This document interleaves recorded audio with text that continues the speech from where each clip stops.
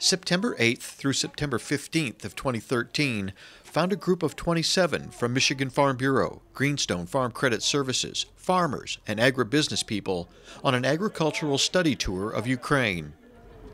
It's been said that to understand life in Ukraine today, you first have to understand their history. The country has been fought over for thousands of years.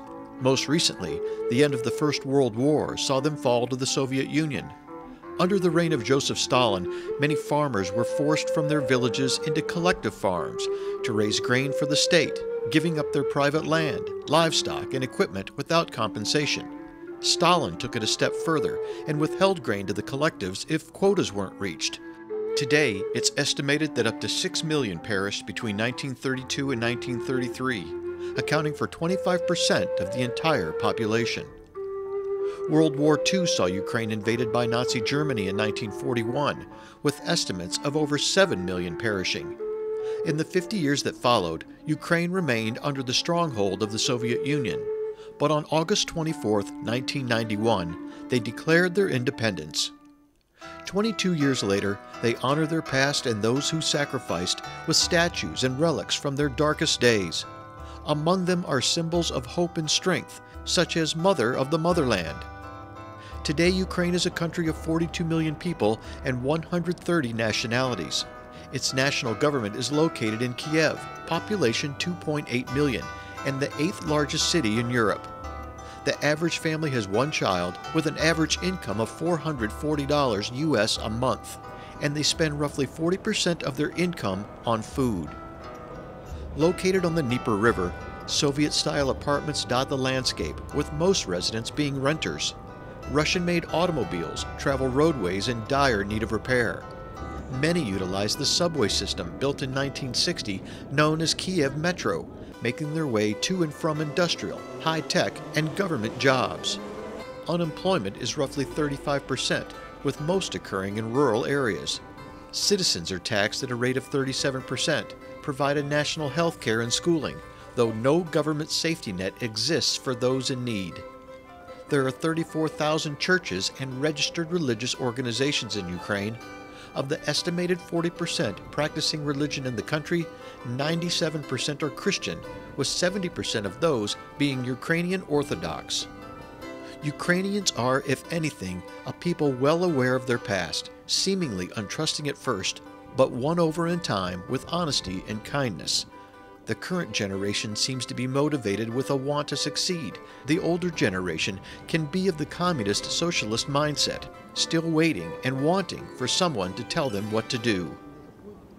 Ukraine, at 233,000 square miles, is roughly two and a half times the size of Michigan, with 79 million acres being arable land. They're a major world producer and exporter of grains and oilseeds, ranking in the top five in production. They're the number three producer of sunflower oil in the world, and their country is home to one third of the most fertile soils globally. 32% of the population is rural, with 17% involved in agriculture.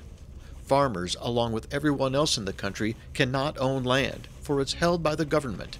Instead, it's leased for periods of up to 50 years. 70% of the farmers are of the small village variety, to the tune of 14 million, the babushkas or grandparents' farm, growing crops on an acre of land, maybe grazing a milk cow or two, and selling their goods at a local farm market. 30% are registered companies, many with investors from outside Ukraine, leasing anywhere from 12,500 to 132,000 acres. Agricore Holding is located in the Chernigov region.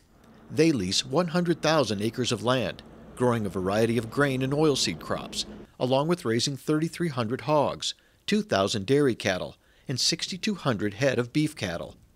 The group stopped to hear from two of Agricore's 1,000 employees, in particular about their beef herd, which included 330 red Simmental cattle imported from France in 2011. They're pastured on natural grassland from May to November and then stabled. They're bred at 18 months of age, weaned at 6 months, and then finished at a feedlot for 420 days. Working with Pfizer on a vaccination program, Agricore is talking with McDonald's about supplying their needs for beef in their Ukrainian restaurants. The Ukrainian uh, beef cow-calf operation is very similar to what we uh, do back um, in the United States and especially in Michigan, uh, taking advantage of a lot of pasture ground that isn't suitable for row crop farming, and that's exactly what these guys are doing here. They do have a cattle health program. Um, they do have a mandatory identification program. They had bangle tags in all the cows and bulls with individual numbers on them that they had to report. Um, and they also talked about their negotiations right now um, for possibly contracting with McDonald's. And I think is one of the things that if they do get into that program with McDonald's, they're going to have to have some sort of a mandatory health protocol and um, probably look at a genetic standard for the quality of meat that they would be um, delivering for that food system. With the mission to replicate the agriculture of the American Midwest and central Ukraine, the Kiev Atlantic Ukraine Corporation in Mironivka is a prosperous grain processing enterprise centered on a feed mill that serves the needs of the nation's massive population of household subsistence farmers, those who produce little more than what it takes to feed their own family. Up to 200 area farmers contract with the company to raise and supply feed commodities, including corn, wheat, barley, soybeans, sunflowers, and alfalfa hay. Kiev Atlantic takes in grain 24 hours a day, 7 days a week from October through January, then stays busy March through August, drying, cleaning, grinding, and combining those raw ingredients into dozens of formulas for animal feed, custom blended for everything from rabbits and chickens to goats and piglets. Started in 1994 by American David Sweere, the company also has Danish and Ukrainian investors. Their staff of 50 employees work 12 hour shifts at the facility, which is part of a larger, vertically integrated enterprise. Kiev Atlantic Ukraine farms 25,000 acres of grain, processing almost all of it. They have 85 of their own stores across the country selling their commodities, and they raise some livestock as well. In uh, July 1990, the Sweere family was invited um, by Agrarian uh, Academy to visit Ukraine. Uh, they came here and understood that uh, Ukraine is really a potential country. And for that time, Ukraine didn't have uh, protein at all. Uh, they decided to grow soybeans, and they were the first uh, farmers who grew and processed soybeans. Farming equipment to plant and harvest the vast fields in Ukraine varies in age, size, and color. There's an ever increasing presence of John Deere, thanks to the likes of Rise Euclid Farming. They're one of the country's largest John Deere service providers. Located just south of Bila Tserkva, this facility services many brands of farm implements, although parts for older equipment routinely takes weeks to acquire if they're available at all. The 800 series tractors are the most popular, there are five John Deere training centers and dealerships in Ukraine. Another company is Germany based manufacturer Ropa, which operates a diverse agribusiness near the town of Mankivka. Central to the implement sales and service side of the business are the company's self propelled sugar beet harvesters. Ropa also leases land from local farmers and grows a variety of crops. But one they didn't grow this year due to poor prices was sugar beets. Nonetheless, ROPA technicians were busy with servicing several machines during the visit. It's a real eye-opener coming over here. I mean, we think about a big field in Michigan as 100 acres and we're seeing fields that are 3,000 acres in our uh, math and it, it, was amazing that they can take like this little tractor and do that amount of work and then if something breaks it's not as easy as running a half hour, 40 minutes to go get a part that you may have to wait one day to get it from a dealer where they have to wait several months. And it just, it's, it's really their infrastructure and their roads, you can see that they got to be patient. And I think we, we need to learn some of that too is it could be a lot worse. Agro-industrial enterprises is a model of agricultural entrepreneurship in Ukraine, though an anomaly. Kaplun Nikolay is the Director General of the corporation and, from what we could gather, the sole owner of the 22,000 acre operation. With no agricultural education, he's raising both livestock and crops. He owns all of his own equipment and buildings, including a sugar beet plant and a dairy. His milk is collected, shipped, and processed by Milkiland Milk Company, a major processor in Ukraine. Soybeans are being harvested and delivered to his barns while there. He grows varieties from both Canada and Ohio State, harvesting them with combines from his fleet of 13, made up of John Deere, Claas, and Case. Said to be the mayor of his village, Mr. Nikolay has shared much of the prosperity he's found since Ukraine's independence with the local communities that are home to many of his 450 employees. Among his proudest accomplishments is the restoration of a Ukrainian Orthodox church founded more than 1,000 years ago.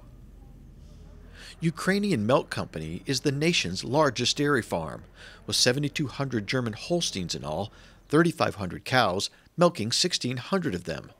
Built in 2006, the $52 million investment came from three private investors. They're feeding their livestock with crops from the 25,000 acres of fertile land it leases. They feed corn silage, dried roasted soybeans, sunflower silage, and a barley wheat mixture. They have a lab on site to sample feed and balance rations, along with a staff of seven veterinarians as well. Their buildings are constructed of steel, aluminum, and cement. Law forbids them from using wood to prevent fire risk. All the manure is used in their biogas system for power generation, which can produce 510 kilowatts per hour. Dairy operations like Ukrainian milk account for 500,000 of the 2.5 million cows in Ukraine. The rest are held by private households, the villagers. Ukrainians drink roughly half the milk or less than what Americans consume, but efforts similar to the Got Milk campaign are underway to hopefully increase the awareness of the nutritional value. Their National Dairy Association, uh, you know, it definitely appears though they're, they're trying to go down the right path, but uh, they've got a long ways to go as far as um, having control over the majority of the milk. Right now, it appears as though a lot of it is uh, marketed individually to small processors uh, at random. They're trying to pool it and uh, work collectively a little more, but they've got a, they've got some challenges in getting that done. Another contributor to Ukraine's milk supply is Elita Limited. Owned by a German family who came to Ukraine, they currently milk 750 Holsteins, with plans to expand to 2,200 in the near future. When that happens, they will move from human to robotic milkers, for though labor is cheap, they can't find enough willing to work long hours and who will pay proper attention to the animals. I was really expecting to see more of the um, small household type farms, which we did see some of those, and I was really surprised by the larger farms, how similar they are to the farms that we have in the United States. Um, with the quality, with the management practices, when they get into talking about the reproduction practices that they're using, that they're using Ovsynch programs, some of the same programs that we're using in the United States, I was surprised by. Um, I think it's great to see how far they've come so far, and it'll be interesting to see the other changes they have to go through, or that they do go through. Elita also has a small swine facility with two to three hundred sows. Along with owning the buildings and equipment, they raise their own feed. Their animals are just a few of the 8 million hogs raised in Ukraine, half on enterprises and half on household farms. Along with livestock and grain crops, vegetables are major commodities in Ukraine. Many are grown and sold by villagers on the side of roads and highways at small farm markets. Onions, tomatoes, garlic, peppers, and melons were plentiful in early September. Along with the village grower is Uman Greenhouses. With 87 acres under glass, they operate three huge facilities in as many Ukrainian cities, growing 20 varieties of tomatoes, cucumbers, and other vegetables. This facility was built in 1973, the third largest greenhouse in Ukraine. It produces 20,000 tons of vegetables annually, two thirds for the domestic market, and another third for export to Russia. Well, one thing I learned is that they, even in the packing facility, they, they use more human labor rather than, than mechanized equipment. Also, the, um, with spraying, it seems like most of them didn't spray. He wasn't even sure if they sprayed their tomatoes. Uh, he wasn't, you know, wasn't 100% sure, but that, that, was a little, uh, little different. I'm getting, you know, they must do something with that. Also, uh, uh, a lot of the smaller farms obviously didn't, didn't spray, and uh, even at the uh, tomato, pro tomato processing plant, they had a lot of disease problems in there that they weren't taking care of. The word chumak in Ukrainian means traveling merchant. In 1996, two young Swedish entrepreneurs moved to Ukraine with the goal of processing vegetables. Thanks to a business deal with Ukraine's State Property Fund, which allows for the transfer of state property to private ownership, today their multi million dollar enterprise called Chumak Company is processing up to 2,000 tons of fresh tomatoes daily. They're cooked down into tomato paste, which they in turn use to make a variety of sauces and ketchup. They also process sunflowers into oil, which is used to make mayonnaise. Their cucumbers are processed for a contract with McDonald's in supplying their need for pickles, and most recently, they ventured into making and packaging pasta as well. In all, they have over 80 different products. Chumak leases no land for growing. Instead, they contract with other growers and also allow non contracted farmers to bring in their harvest. It all fits with their company slogan from field to table. If you ask almost anyone in Ukraine who the major player is in agriculture, undoubtedly the answer is Agro Holding.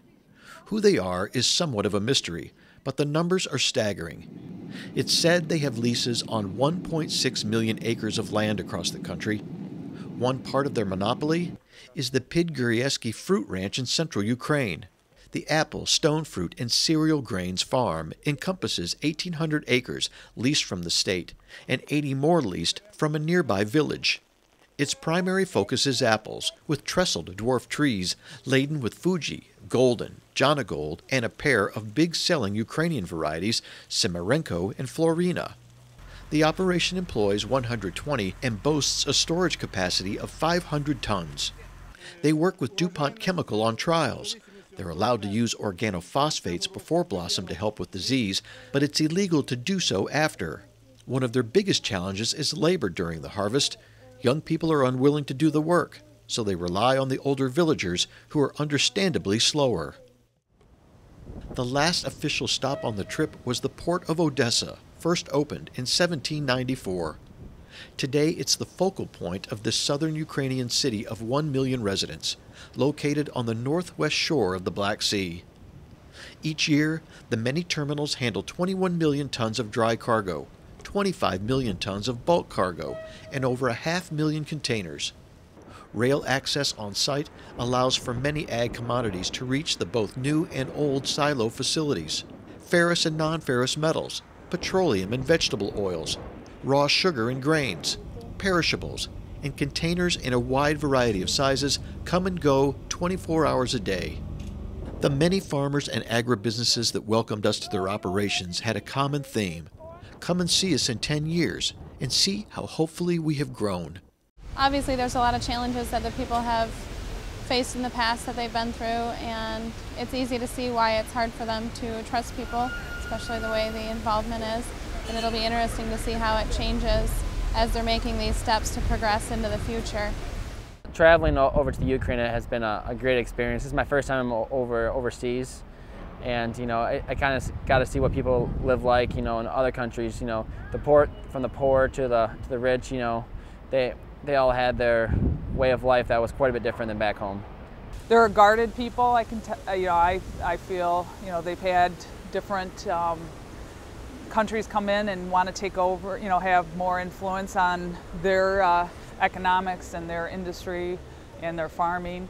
Um, however, you know, I think a lot of the farmers are very proud people. Everyone that we met was very uh, proud of, of their operation from the small to the large.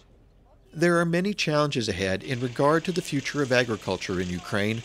Storage capacity for grain is increasing, but at a very slow pace. Transportation via highway and rail is a challenge due to poor infrastructure. Biotechnology is currently illegal, restraining the ability on potential yields. And acquisition of equipment is a challenge due to interest rates on money at 27%. It would be interesting to learn more about how much they're using the rails and the rivers here. There seems to be the roads are spotty. There's areas where they're really good and areas where they're not so hot. You don't see a lot of on-farm storage, which is surprising that they haul so much to a, a big local elevator. Some of these large farms, you would think there would be more on-farm storage. We did talk with some large processors and some large commercial farming operations, and I gather from speaking with those people that bank credit uh, at a more uh, conventional rate is available uh, for those for those people. In speaking with um, some of the representatives, uh, government representatives here, uh, we found that uh, credit sources include Poland, Germany, uh, the UK, and, and possibly the Scandinavian countries, though I'm not sure about that latter. On the side of the state run Ivan Honchar Museum in Kiev, there's the Before I Die wall, where people write their fervent wishes, many in hope of a better future. From what the tour participants saw over their seven days in country, Ukraine has the potential to prosper and grow.